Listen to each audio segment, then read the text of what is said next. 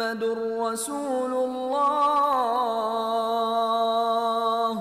والذين معه أشداء على الكفار رحماء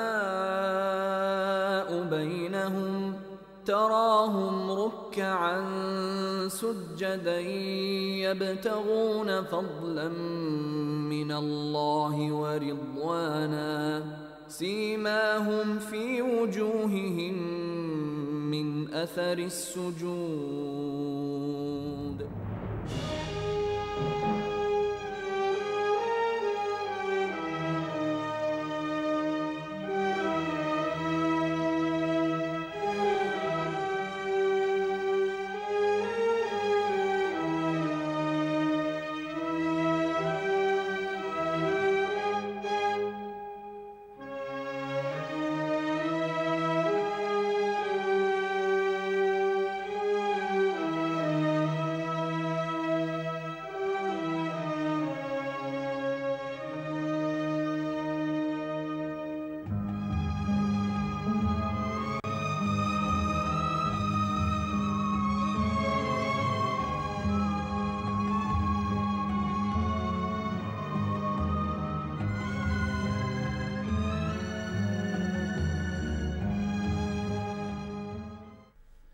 الحمد لله رب العالمين والصلاة والسلام على سيدنا محمد وعلى آله وأصحابه أجمعين. حياكم الله إخوة الإيمان والسلام عليكم ورحمة الله وبركاته في حلقة جديدة طيبة مباركة من برنامجكم رسول الله والذين معه. نكمل وإياكم أيها السادة الكرام بعد أن تكلمنا عن أصحاب النبي صلى الله عليه وسلم الثلاثة أبي بكر وعمر وعثمان. والحقيقة أننا تناولنا في كل خليفة وحياة سيدنا علي رضي الله عنه. لنورد أو نبين العلاقة الطيبة التي كانت بين الصحابة رضي الله عنهم. ها نحن اليوم نفرد حلقة خاصة لسيدنا علي. من هو علي؟ أعتقد أن عليا أشهر من أن يعرف. بلا شك هو سيدنا علي ابن أبي طالب ابن عبد المطلب ابن عم النبي صلى الله عليه وسلم أبو الحسن وأبو السبطين زوج البتول وابن عم الرسول كناه رسول الله صلى الله عليه وسلم بأبي تراب. كان رضي الله عنه شابا قد تبنى تربيته فترة من الزمن سيدنا محمد عليه الصلاة والسلام. لذلك لم يشرب خمرا ولم يسجد لصنم بمجرد أن شب في شبابه اتبع نهج النبي صلى الله عليه وسلم وأسلم على يديه.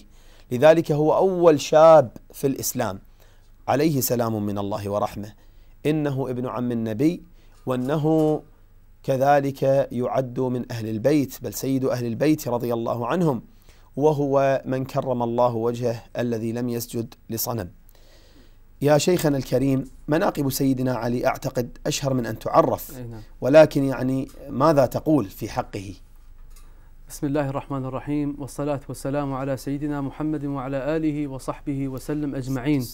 والله ما أقول إلا ما قال رسول الله في سيدنا علي نعم. رضي الله تعالى عنه عندما قال إنه يحب الله والرسول ويحبه الله ورسوله. الله. وهذه منقبة عظيمة كما قال ابن تيمية ولا شك أن عليا رضي الله تعالى عنه ممن يحب الله والرسول ويحبه الله ورسوله. وتبقى هذه المنقبة إلى قيام الساعة رغم كل آه، الأعداء بألسنتهم وحقدهم وحسدهم لهذا الرجل العظيم المغوار الذي بفضل الله تعالى إذا رآه في ذلك الزمان كافر أصبح كالحمار كما يقول الأدباء. الكافرون أمامه كالحمر المستنفرة فرت من قسورة. هذا يا شيخ الرجل عجيب غريب. يعني وقد يقال إنه تفرد عن صحابة رسول الله صلى الله عليه وسلم كلهم بالذكاء النابغ المحيط بكل جوانبه بالحكم نعم. بالبلاغة بالفصاحة بالقضاء نعم. بالشجاعة. صف ما تريد لهذا الرجل العظيم الذي شهد له رسول الله صلى الله تعالى عليه وسلم بالجنة وأعطاه بضعته صلى الله تعالى عليه وسلم. بل نهى علي أو عليا أن يتزوج على فاطمة كما تقدمنا سابقا. أن يتزوج عليها وهذا يدل على مأثرة ومنقبة هذا الرجل العظيم. يا شيخ يكفيه فضلا رضي الله عنه. نحن نستطيع أن نتكلم ما تكلمنا عن الخلفاء الراشدين من قبله ولكن يكفيه فخرا. لو نظرنا إلى كل نبي وإلى كل إنسان نعم. فضلا عن الأنبياء رضي الله عن عليهم الصلاة والسلام عفوا كل نبي قد حفظ الله نسله بصلبه. الله. إلا نبينا صلى الله عليه وسلم قد حفظ الله نسله بصلب علي. الله. هذه مسألة يعني لو ينتبه إليها نعم. لوجد العجب. يعني الله جل وعلا ما حفظ نسل النبي صلى الله عليه وسلم بأولاده. كل أولاده ماتوا إلا فاطمة نعم. رضي الله عنها وعليه السلام التي هي زوج علي. الله. إذا حفظ الله نسل النبي صلى الله عليه وسلم في علي. صلب علي الله سبحان الله وأولاده سبحانه. وهذا تدل أيضا على منقبة عظيمة. شرفه وكرمه. وإلى الآن يا شيخ عندما يذكر آل البيت يذكر معهم رسول الله. صلى الله صلى الله. نعم. وإذا ذكر رسول الله نعم. يذكر معهم آل البيت. حتى أن الله تعالى ورسوله صلى الله عليه وسلم أمرنا أن نصلي عليهم في صلواتنا اللهم صل على سيدنا محمد وآل محمد. وهذا تدل على منقبة عظيمة لهذا الرجل. الفضائل كثيرة والمناقب والمآثر. نعم. يعني عندما قال رسول الله أترضى أن تكون مني بمنزلة هارون من موسى؟ ولا يحبك إلا مؤمن ولا يبغضك إلا منافق. نعم. يقول سيدنا علي رضي الله عنه عن نفسه والله ما أحبني إلا مؤمن وما بغضني إلا منافق. نعم. ويقول عليه الصلاة والسلام كذلك من سب عليا فقد سبني. الله. هذه من أشهر الأحاديث التي ذكرت في حق سيدنا علي رضي وشيخ الله عنه. عند عندما قدمنا زواجه من سيدة من السيدة فاطمة قال لها رسول الله لفاطمة إني زوجتك أقدم رجل سلما وأعلمهم علما وحلما. نعم. وأحب أهل بيتي إلي. الله. يعني ال- إحنا نفهم يا شيخ عقيدة. آل البيت آل بيت رسول الله صلى الله عليه وسلم كلهم فضلاء وأفضلهم سيدنا علي. نعم. ولا شك أن العلماء كلهم بالاتفاق أن أفضل الصحابة من آل البيت هو سيدنا علي. يعني لو جاء لو نظرنا إليها من منظر. أي لو نظرنا من منظار خصوصي لآل البيت أفضلهم سيدنا علي رضي الله تعالى عنه. رضي الله عنه وأرضاه. آه، شيخنا الكريم يعني الحقيقة أن سيدنا علي رضي الله عنه كان كذلك يشتهر آه، بالخطب الجماء العصماء التي لا يرى مثلها سبحان الله. سبحان الله. شجاعته كانت نادرة. نعم. حتى قتل أشجع العرب عمرو بن ود العامري. كان داحيا لباب خيبر. حكمه ما زالت تتلى على ألسنة الناس. فقهه شهد به النبي صلى الله عليه وسلم صلى الله عليه وسلم. والصحابة من بعده لا سيما الخلفاء الراشدين. نعم. شعره كان وما يزال من أعظم وأجمل الحكم التي تطرأ بين شعراء الأمة الإسلامية بل وغيرهم. وأخذ ومن- منها الشافعي. نعم. نعم. بل ومن أشهرها الزينبية نعم. التي في مطلعها صرمت حبالك بعد وصلك زينب والدهر فيه تصرم وتقلب. يتكلم رضي الله عنه عن أمور عدة زهدية ورقائق جميلة وحكم عظيمة حتى يقول دع عنك ما قد فات في زمن الصبا واذكر ذنوبك وابكها يا مذنب واخشى مناقشة الحساب فإنه لا بد يحصى ما جنيت ويكتب والليل فاعلم والنهار كليهما أنفاسنا فيها تعد وتحسب. ثم بعد ذلك ينصح الناس والإخوان فيقول لا خير في ود امرئ متملق حلو اللسان وقلبه يتلهب. يلقاك يحلف إنه بك واثق وإذا توارى عنك فهو العقرب. يعطيك من طرف اللسان حلاوة ويروغ عنك كما يروغ الثعلب. ثم يختم يا. شيخنا قصيدته بقوله ولقد نصحتك إن قبلت نصيحتي. والنصح أغلى ما يباع ويوهب الله جزاك الله خيرا آه، كلمات سيدنا علي رضي الله عنه ولك حكمة أخرى من سيدنا علي وهو يبث الهمم في قلوب الشباب. وفي قلوب العلماء وفي قلوب الأمة يقول بقدر الكد تكسب المعالي جيد ومن طلب العلا سهر الليل. سهر الليالي الله تروم العزة أي تريد العزة ثم تنام ليلا يخوض البحر من طلب اللآلي وإذا عاش الفتى ستين عاما فنصف عمره تمحقه الليالي. وربع العمر لا يدري أيقضى بيمين أو شمال وربع العمر العمر شيب وشيب وتفكر بالعيال فحب فحب المرء طول الحياة قبح وقسمته على هذا المثال. الله أحسنت أحسن الله إليك يا شيخ. هذا الرجل العالم. الكبير العظيم الشجاع الشهم صاحب التقوى والورع بل صاحب الزهد الذي كان يلبس المرقع.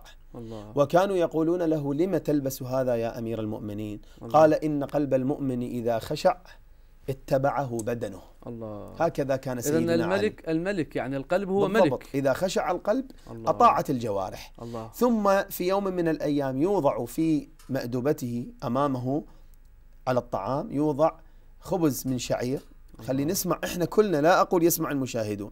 نحن أول أنا أول الناس. الله. من نأكل أصنافا وألوانا من الطعام ثم قد لا نشتهي هذا ونرفض هذا ونفسق على هذا إن صح التعبير. نعم. ها هو سيدنا علي يوضع له ثلاث أنواع من الطعام. شنو أنواع الطعام؟ تتصور يعني شنو هي أنواع الطعام؟ خبز شعير الله. وزيت وخل. خبز شعير وزيت وخل. أتدرون ماذا يقول سيدنا علي؟ وضع أمامه هذا الطعام البسيط جدا. لينظر إليه وتسيل دموعه من عينيه ثم يقول ولتسألن يومئذ عن النعيم. الله. هذا كلام سيدنا علي صاحب الزهد. الله أكبر. يعني يا شيخ وكان رئيسا للدولة في ذلك الوقت. خليفة لم المسلمين يكن محكوم لكن كان حاكما آه، كان حاكما في ذاك الزمان. مرة يصعد على المنبر. ويقول للعامة من يشتري هذا السيف؟ لعان المسلمين. من يشتري هذا السيف؟ والله لو كان عندي ثمن إزار ما بعته. الله أكبر. شيخ خليفة رئيس دولة يقول للناس لو كان عندي ثمن آه، يعني إزار ما بعتها. فقال أحد الناس يا أمير المؤمنين نسفك ثمنه؟ يعني نعطيك ثمنه؟ يقول فسكت سيدنا علي رضي الله تعالى عنه حتى قال عبد الرزاق صاحب المصنف كامت له الدنيا كانت له الدنيا كلها إلا الشام. يعني يعني سيدنا عليا كان يعني عنده الدنيا بأموالها ونسائها ومردانها وشبابها وأموالها لكنه رضي الله تعالى عنه أبى إلا أن قال يا دنيا غري غيري طلقتك ثلاثا طلقتك ثلاثا. وفعلا قد طلقها سيدنا علي. وهو الذي يقول أنا الذي أهنت الدنيا لا تكبرا ولا عجبا. ولكن حينما قدم إليه الفالوذج وهو نوع من الحلوى نعم. قال والله إن نفسي لتشتهيه. ولكنني أخاف أن أحرمه في الآخرة. الله. إني أخاف أن أحرمه في الآخرة. الله. ثم يذهب إلى السوق في يوم من الأيام وهو خليفة المسلمين وأمير المؤمنين سيد المؤمنين يومه. يذهب إلى السوق ويأتي بشيء من الطعام. ثم يأتي بعض الشباب والغلمان ليأخذوا تلك الحاجات يحملونها عنه. يقولون هاتها يا أمير المؤمنين. يقول لا. صاحب العيال. أحق بحمله. الله. أحق بحمله. يوم يوم عيد يا شيخ. وتعلم أن الأعياد الناس يهرعون إلى الملابس أكيد. الطعام الشهي وهو من؟ ابن عم رسول الله صلى الله عليه وسلم وزوج فاطمة. يأتي يوم العيد ويأكل خبزا يابسا يابس. ثم يأتي إليه بعض الولاة ويقول له يا أمير المؤمنين هذا يوم عيد وتأكل هذا الخبز اليابس؟ قال العيد لمن قبل صومه. الله. وشكر سعيه وغفر ذنبه. نحن في عيد ما زلنا أن نطيع الله تعالى. وكل يوم نحن في عيد الله. ما دمنا موحدين لله تعالى. هذا وهذا قياس. وهذا مثله قاله عمر بن عبد العزيز رضي الله عنه يوم جاءت بنته فقالت يا أبتي ها هو العيد قد أقبل وليس عندنا شيئا نلبسه. قال نعم. يا بنيتي العيد ليس لمن لبس الجديد الله. لكنما العيد لمن خاف يوم الوعيد. الله. هذه المدرسة يا شيخ المحمدية نعم. اللي رباهم عليها سيدنا محمد صلى الله عليه وسلم. صلى الله عليه وسلم. بهذه الأخلاق سادوا الدنيا وقادوها. الله. بالتواضع بالزهد بالورع بخوفهم من الله. نعم. ومع ذلك اللهم لا حول ولا قوة إلا بالله. نعم. لم يسلموا من الطعن فيهم. نعم. ولم يسلموا من التقول في والله شخصياتهم هذا وفي يدل على إيمانهم. كمالهم. والله الله. حتى يفهم الناس أن الذي يتكلم عليه سواء كان صحيح. شرا أو خيرا وخاصة ولا سيما الشر يدل على كماله لأن الله تعالى انفرد بالكمال صدقت فالله تعالى يريد أن يكمل هؤلاء الأشخاص بنظر الناس إليهم نظرة است- استدراء صدقت. لذلك تكلم على رسول نعم. الله وتكلم على الصحابة ومن آه، ضمنهم سيدنا آه، علي وعثمان وأبو بكر لكنهم الله تساوت عندهم الأضداد يا شيخ. وهذا مثل ما تفضل دليل قاطع على كمالهم ودليل على نقص من طعن فيهم أحسنت. لأن وإذا أتتك مذمتي من ناقص فهي الشهادة لي بأني كامل فاصل ونواصل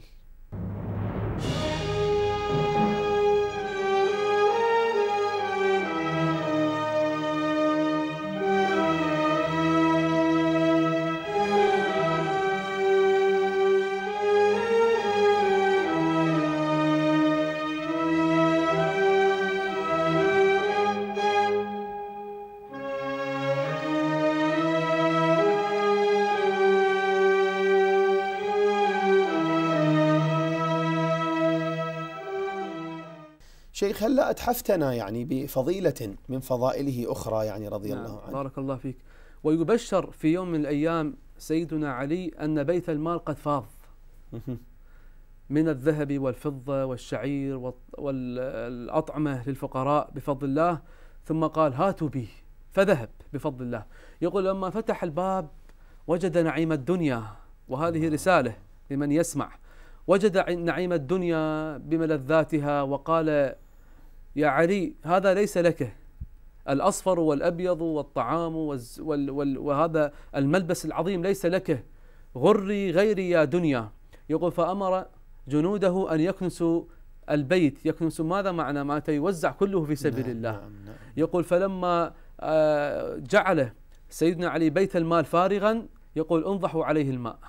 فنضحوا عليه الماء. ثم قال صبوا علي الماء. أي توضأ ثم صلى ركعتين لله تعالى شكرا على أن الأموال كلها أموال. المسلمين أنفقها في سبيل الله. واليوم يا شيخ يعني المعامل خزائن والخزائن مملوءة. والخزائن مملوءة. وهم لا. ينفقونها على فقراء الله تعالى ولا هم ينفقونها على شيء يستفاد منه المسلمون. والله تعالى المستعان. الله يبارك فيك يا شيخ. هذه طبعا حياة سيدنا علي يعني لو أردنا أن نخوض فيها لما كما قلنا لما وسعتنا الحلقات لأن كلام عظيم. يعني ذولا يا شيخ والله يعني يعني يعني هم قدوة للقدوة. أحسنت. هم قدوة للقدوة. نعم. يعني والله أتعب من جاء بعدهم. نعم. لذلك يا شيخ صدق النبي صلى الله عليه وسلم حينما قال قال والله لو أنفق أحدكم مثل أحد ذهبا أحسنت. ما بلغ مد أحدهم ولا نصيفه. الله. مستحيل. لأنهم كانوا ينفقون على على فقرهم على يعني فقرهم وعلى. حاجتهم. نعم.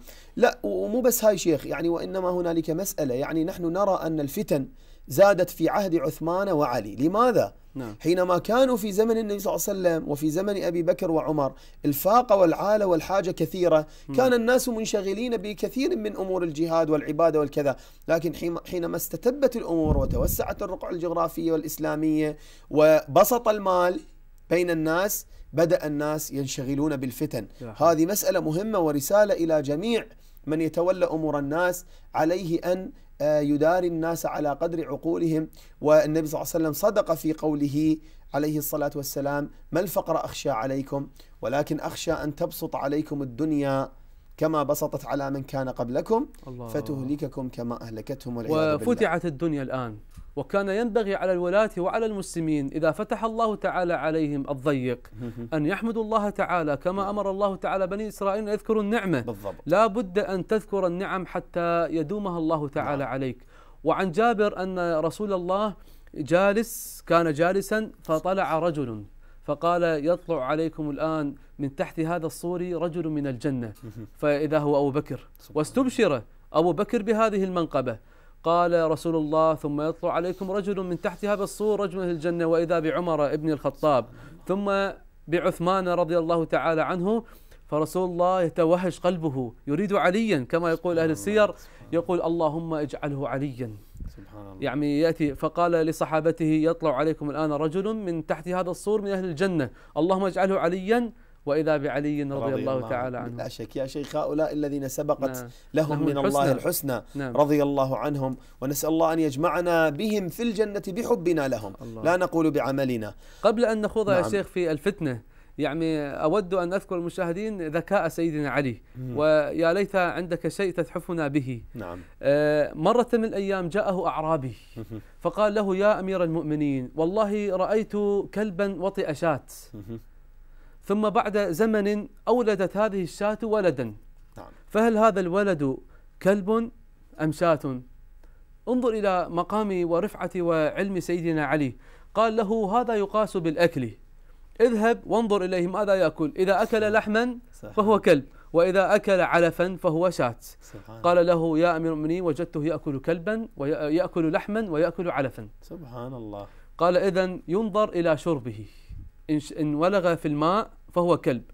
وإن شرب شربا مصا يعني. مصه مصا فهو شاة. قال رأيته مرة يمص ومرة يولغ. سبحان الله. قال سبحان الله.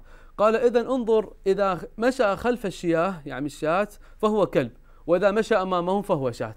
قال مرة رأيته يمشي. خلفها ومرة آه، يمشي شيء محير. قال إذا انظر إليه إن جلس وأقع يعني قعود الكلب أجلكم الله فهو إيقاع- كلب. إيقاع الكلب نعم. وإذا برك يعني بروك البعير فهو شاة. قال رأيته في الحالتين. سبحان الله. قال إذا اذبحه. سبحان الله. اذبح هذا الولد. فإن وجدت في بطنه كرشة فهو شاة. وإن وجدت في بطنه معدة فهو كلب.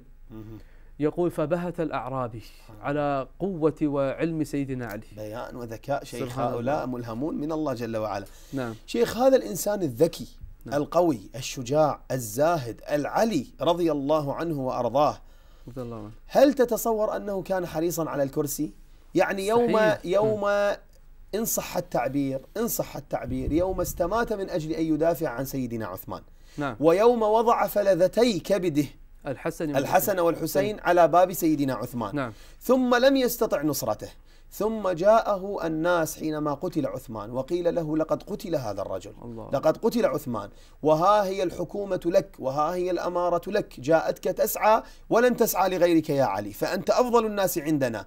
ماذا يفعل؟ الله. يهرب سيدنا علي. الله وهذا طبعا خلق جدا عادي. نعم. يعني أنت الآن لا تتفاجأ من هذا الكلام لأنك قد علمت من زهده وورعه.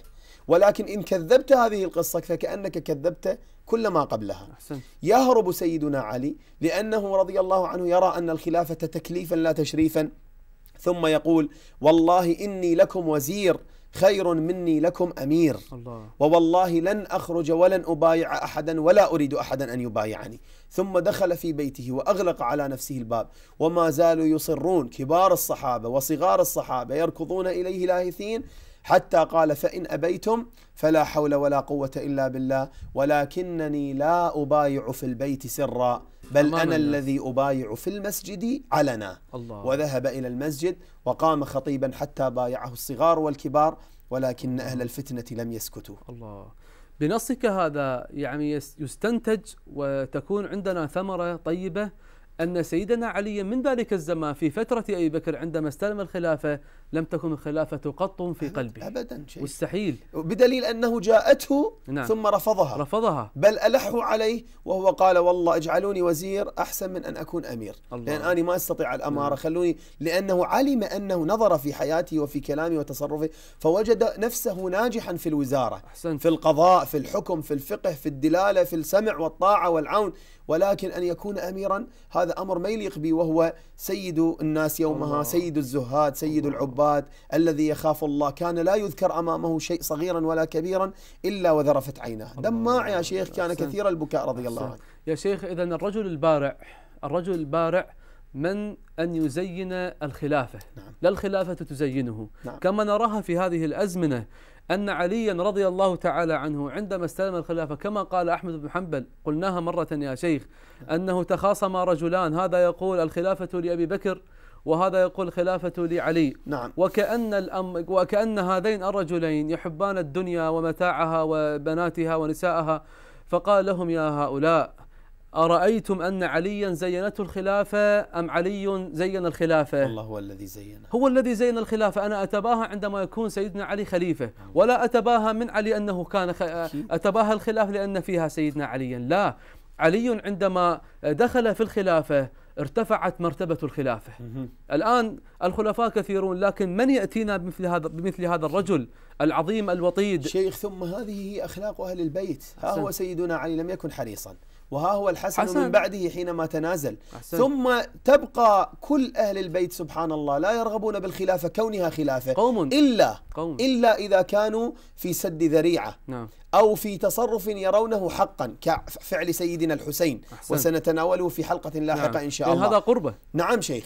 وإلا أهل البيت بحد ذاتهم يعني كل من ينتمي لأهل البيت المفروض لا يكون حريصا على الكرسي. الله. وهذه رسالة إلى جميع من ينتسب لأهل البيت ثم هو حريص كل الحرص عن الكرسي. خالف وبدليل أجداده إذن؟ بدليل يا نعم. شيخ أن الإمام المهدي عليه السلام حينما يظهر في آخر الزمان يقول فيحبسه الناس بين الركن يعني ركن. الكعبة والمقام نعم. ثم يلحون عليه حتى يبايعونه عنوة يعني غصبا. عنه يبايعون الله سبحان هاي. أخلاق الصحابة إذا وأخلاق أهل قوم البيت. خلقهم الله للآخرة أبدا ليس للدنيا أبداً. بدليل الزهد والعلم والأخلاق محمد الباقر يعني نذكرها طريفة حتى ابن تيمية يقول والأصح أنه عندما آه، لقي الباقر لأنه بقر العلم بقرا ما شاء الله وقيل أنه من كثرة سجوده أصبحت هنا بقرة عنده يعني نعم، نعم، يعني نعم، نعم. شيء يقول لكن الأصح أنه بقر العلم بقرا لأنهم يا شيخ التهوا بعلم الله تعالى وبالزهد نعم. وبالإيمان شيخ سيدنا نعم. علي رضي الله عنه تولى الخلافة نعم. وواجه مواجهات عظيمة وفتن زخمة عليه جدا أعانه الله ورضي الله عنه وكان كل يوم يبكي بكاء الثكلى الله. إلى الله عز وجل يتمنى أن يخلص من هذه البلاء أو من هذا البلاء الذي صب عليه نعم. هنالك علامة استفهام كبيرة جدا جدا جدا لماذا تقاتل سيدنا علي مع السيدة عائشة الله. أولا نريد أن نسأل هل مقاتلة مؤمن لمؤمن يعد كفر أحدهما وإسلام الآخر أم قد يقتتل المؤمنان نريد الجواب منك. قال الله تعالى وإن طائفتان من المؤمنين اقتتلوا. جيد. لو قلنا أن المقاتل أو الذي أخطأ كافر لما سمى الله تعالى في كتابه مؤمنين. جيد. وإن طائفتان من المؤمنين اقتتلوا فأصلحوا بينهما. يعني الأمر فيه جواز. يعني بمعنى أن هناك مؤمنين سوف يقتتلون فيما بينهم لأمر. نعم. كل إنسان أراد مسألة في عقله وفي قلبه فراها حسنة. جيد. فقاتل من أجل هذا الأمر الذي في قلبه إذا القاتل والذي يقاتل عليه كلاهما مؤمنين أو مؤمنان إن صح التعبير إن أرادوا النية الصافية التي ليست لها علائق في الدنيا نعم. لكن يعني باجتهاد يعني يعني تأويل نقول نعم. اجتهاد لكن قد يسأل أحد الناس أما العوام عندما يقول رسول الله صلى الله, صلى الله عليه وسلم إذا تقاتل المسلم بسيفيهما فالقاتل المقتول في النار, في النار نعم. كما قلت قبل قليل هذه للدنيا أنا حريص على قتل صاحبي وهذا حريص لأجل على دنيا. لأجل دنيا لأجل مال. لكن سبحان الله تعالى إذا كان القتال واجبا في ذاك الزمان يجب علي أن أقاتل. لكن ماذا قال رسول الله؟ من قتل دون مالي فهو شهيد. فأصبح عبد الله تعالى المقتول ولم يصبح عبد الله تعالى القاتل. سيدنا علي يا شيخ هو العالم وهو الحكيم شيخ قبل أن نصل نعم. إلى هذه الفقرة الله جل وعلا قال وإن طائفتان من المؤمنين اقتتلا إذا لم يزل نعم. الإيمان عن كل واحد منهم ثابت ثم ثابت. ثم ليس الاقتتال فقط وإنما حتى البغي يعني نعم. الظلم يعني قد قد يظلم المؤمن المؤمن ولا يزول عنه الإيمان أحسنت. قال فإن بغت إحداهما على الأخرى فقاتلوا التي تبغي مع عدم زوال الإيمان عنه أحسنت. كذلك حتى تفيء إلى أمر الله. يا شيخ إن قلنا هذا الكلام سنتكلم عنه بإسهاب ولكن بعد, بعد الفاصل. فانتظرونا.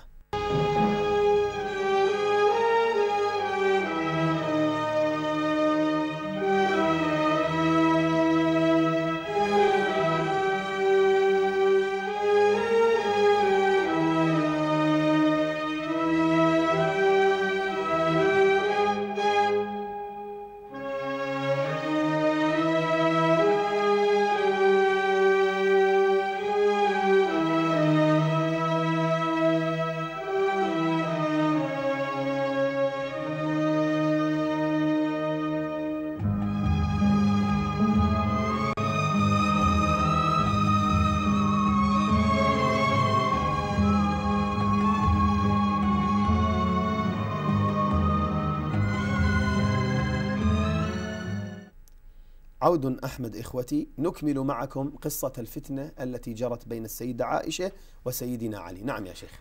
نعم يا شيخ. فالإيمان لا ينسلخ بمجرد الكبيرة. نعم. يعني على سبيل المثال ارتكب معاوية كبيرة مع سيدنا علي بالقتال وهذا متفق عند أهل السنة والجماعة. مم. وكل إنسان قد يرتكب الكبيرة. لا نقول إنه قد انسلخ الإيمان من قلبه وهذا من قلبه وهذا رأي الخوارج. مم. الإيمان يا شيخ يزيد وينقص.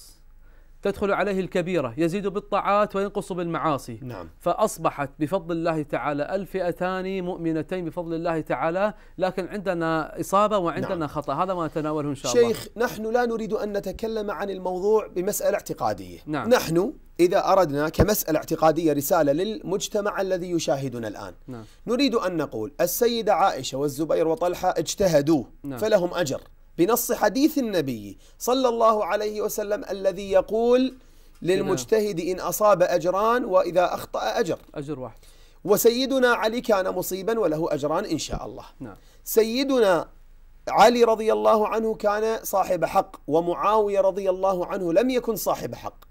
وكل الناس تقول الحق مع علي. هذه مسألة اعتقادية فرغنا منها لا نريد أن نناقشها. نعم. رضي الله عن الجميع ونسأل الله أن يجمعنا بهم في الجنة في الآخرة. آمين. ولكن يا شيخ كيف حدثت الفتنة؟ يعني ما الذي أتى بالسيدة عائشة من المدينة المنورة هي والزبير ومن معها إلى سيدنا علي؟ وكيف حصلت المعركة باختصار؟ نعم. شيخ عندنا فارق زمني. يعني نقول يعني أصل أصل الفتنة مع معاوية ما هي. عندما قتل عثمان ظن الناس أن عليا له يد. والمسألة الثانية معاوية قال لا أبايع عليا حتى يسلم أو يسلم علي قتلة عثمان. جيد جيد. أولا آه، قتلة عثمان كانوا مبهمين في ذلك الزمان. وعلى الأمير لا يستطيع أن يأتي بالقتل لأنه ليس بأمير. مهم. يعني حتى, حتى يبايع, يبايع. جيد. يعني كيف معاوية يسأل عليا أن يسلم آه، قتلة عثمان ولم يكن آه، خليفة؟ جيد. قال له سيدنا علي باتفاق أهل السنة والجماعة هذا الكلام قال يبايع أهل الشام عليا حتى نسلم القتلة وهم لم يكونوا أمام سيدنا علي لم يكونوا أمام سيدنا علي. فعند ذلك حصت الفتن نعم. يا شيخ. شيخ وهنالك مسألة أخرى كذلك. أحسنت. الغافقي الذي تولى آه، قتال سيدنا عثمان ورضي بقتله نعم. وتبعه قوم كثير حتى قال أو قيل عفوا عشرة آلاف مقاتل. نعم. يعني كانوا يملؤون المسجد النبوي ومساجد ال- ال- الأمة يملؤونها. يعني شوف يعني مثل ما تفضلت هاي الرسالة نريد أن نوصلها إلى الناس. أولا سيدنا علي لماذا لم يسلم قتلة عثمان؟ أولا إنه قال لمعاوية إني لست خليفة. إذا وليت الخ- الخلافة وبايعتني أنت ومن معك سأعطيك بحثنا بحثنا عنهم لأن لم هاي مسألة. ظاهرين. المسألة الثانية أنهم مبهمين لا نعم. يستطيع أن يشخصهم. نعم. ثالثا آه، مناصريهم كثر. وإذا أراد أن يقتل جميع المناصرين فعليه أن يشطر الأمة الإسلامية شطر عظيم لا يمكن رأب هذا الصدع نعم. العظيم أحسنت. لذلك توقف تأخر سيدنا علي عن البحث عن قتال مقاتلي سيدنا عثمان. حتى يمكن الأمة الإسلامية في بالضبط. ذلك الوقت ويستتب الأمر. ويكون الوضع هادئا جيد. بفضل الله تعالى. جيد. يا شيخ هي هاي مسألة أخرى. لل- الخليفة الآن لما كان سيدنا علي خليفة هي فقط مسألة ال- القتلة؟ لا طبعا. أموال الدولة العسكر الجنود أنواع. كلها برأس هذا الخليفة. يعني هسه مثل نعم. ما نوبات يتولى أحد الأمراء أو المحافظين أو الكذا نعم. فد محافظة ما أو فد ولاية ما راسا يقول ليش ما سوى كذا؟ ليش ما سوى؟ جوانب هي كثيرة. المسألة هي يعني بس عنده تبليط الشوارع بس المي بس الكهرباء. هي مشاكل الدولة جوانب كثيرة, كثيرة يا شيخ. كيف في ذاك الزمن؟ إلا بتوفيق من الله. نسال الله الله تعالى ذلك. ولولاة الأمور. فلما اشتد القتال كما قلنا لا نريد أن نخوض حديث بها ضعيفة وموضوعة وبها اتهامات لكن نريد أن نختصر اختصار شديد. بالضبط. نقول سيدنا علي. كما قال ابن تيمية واتفق أهل السنة والجماعة على أن عليا مصيبا على أن عليا كان مصيبا ومعاوية رحمه الله كان مخطئا.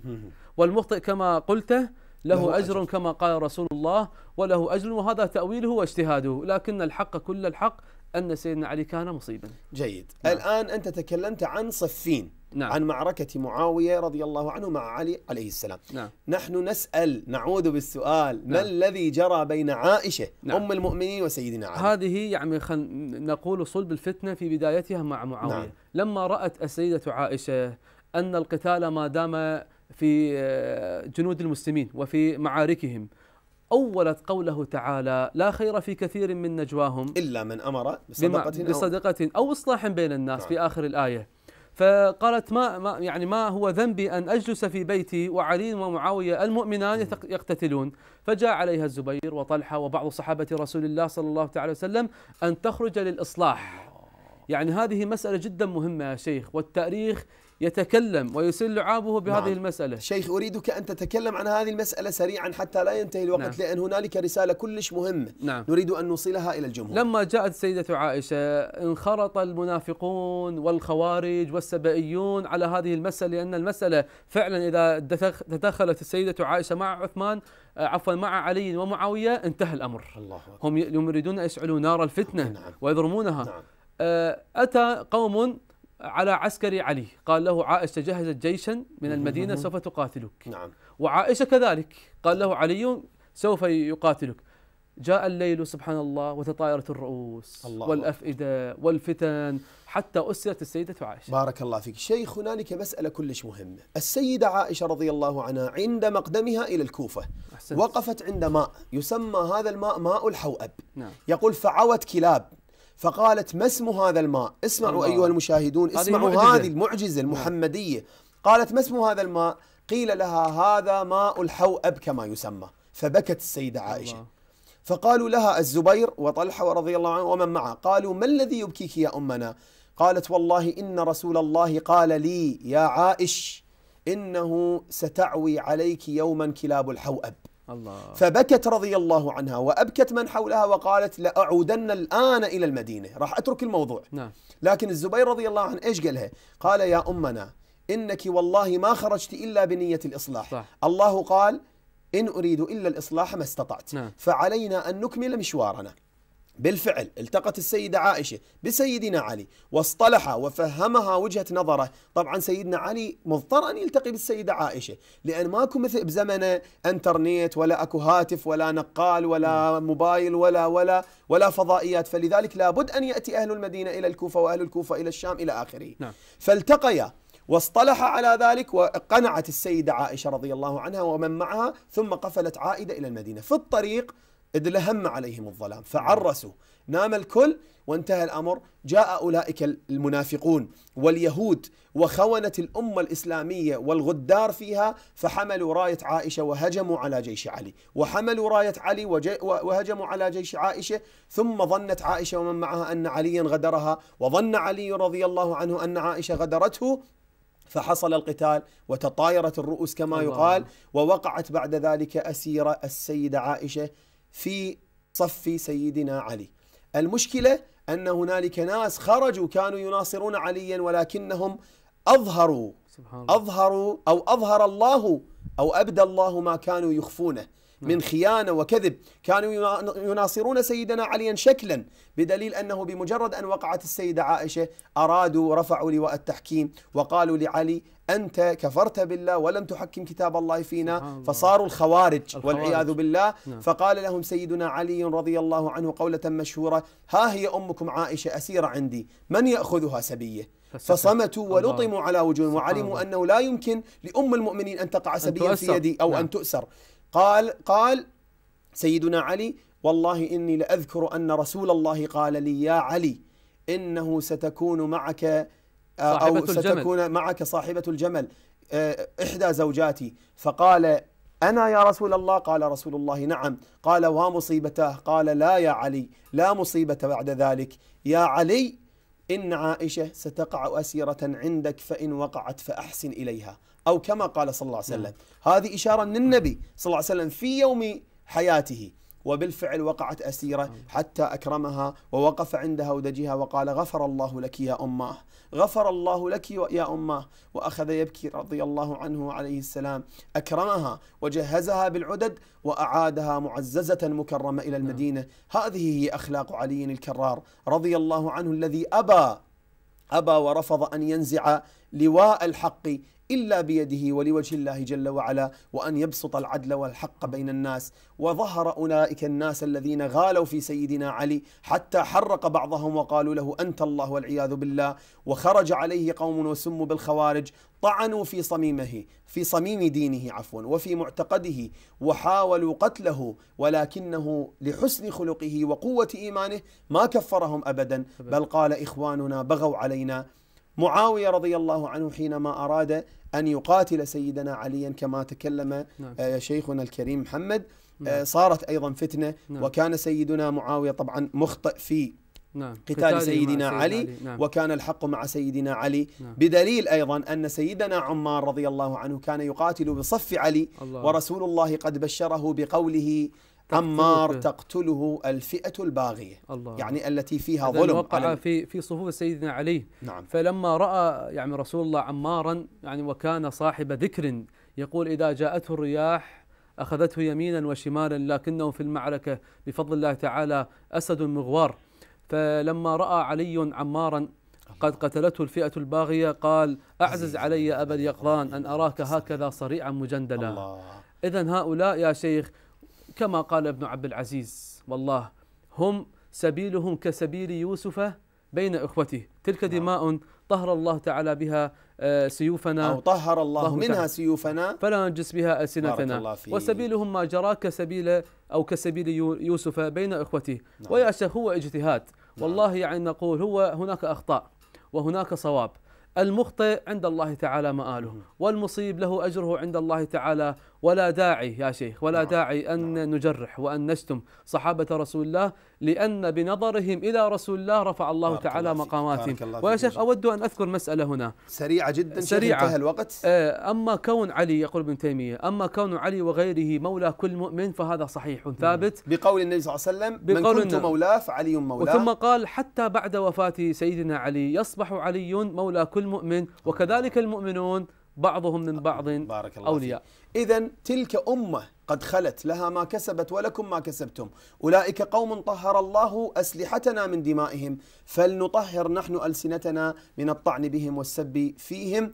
تلك أمة قد خلت رضي الله عنهم أجمعين وأرضاهم واللي بخير خلي يعمل عمل الصحابة حتى لا يتكلم عنهم ولا ينالهم بسوء لأن أولئك. آبائي فجئني بمثلهم إذا جمعتنا يا جرير المجامع نقول ما تسمعون ونستغفر الله لنا ولكم والسلام عليكم ورحمة الله وبركاته